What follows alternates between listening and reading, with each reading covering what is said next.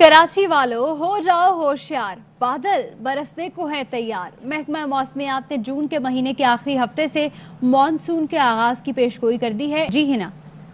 महकमा मौसमियात की जानब से मानसून की बारिशों के हवाले से पेश से पेशगोई कर दी गई है। कराची वाले तैयार हो जाए। जून के महीने के आखिरी हफ़्ते में मानसून के पहले स्पेल की तो की जा रही है। सरफराज साहब, बताइएगा किस नौत की बारिशें होंगी आखिरी हफ़्ते में जून के? जुलाई में स्टार्ट होता है मानसून हमारे यहाँ, लेकिन इस दफ़ा इम्कान ये है कि जुलाई से कुछ चंद दिन, चार पाँच दिन हो सकता है पहले शुरू हो जाए, यानी छब्बीस या सत्ताईस को शुरू हो सकता है। कराची में फ़िलहाल यही क्लाउडी वेदर जनरली और जो सी ब्रीज की वजह से तेज़ क्लाउड्स तेज़ हवाएँ चलने की वजह से क्लाउड्स आते हैं और इसके नतीजे में लाइट ट्रेन शाम में, रात में हो सकती है या हल्की बूंदाबांदी। मौसम काफ़ी बेहतर है, गर्मी ज़्यादा नहीं रहेगी, ज़्यादा से ज़्यादा दर्जा रात, चौंतीस से छत्तीस डिग्री सेंटीग्रेड तक जाने के इम्कान है और वक्फे वक्फे से बूंदाबांदी का भी सिलसिला सुबह और रात के